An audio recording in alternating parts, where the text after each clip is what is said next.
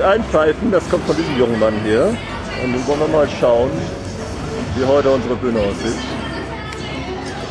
Das ist doch ganz nett. Und da geht's gleich los mit dem Fußball-WM-Spiel.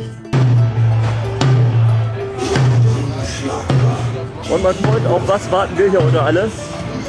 Bitte? Auf was warten wir hier heute alle? Weiß nicht. Pommes. Pommes, ja. Den Gewinn der deutschen Mannschaft natürlich. Ne? Hat der junge Mann kurz auf seine Pommes vergessen. Ne? So sind die Hamburger.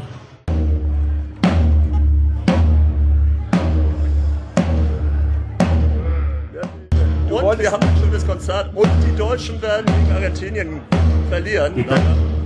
Ich habe eben gerade zufällig draufgehalten, am Fernseher stand drauf, der letzte Job. Es war irgendeine Werbung, aber ich habe das übertragen auf unsere WM-Mannschaft. Und ja. Falls sie verlieren, muss er sein Genital rausholen. 4-0. 4-0 für Wahnsinn. wen? Na? Deutschland. Deutschland.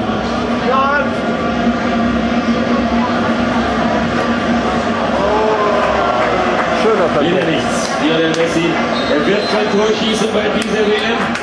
Was für ein Tag!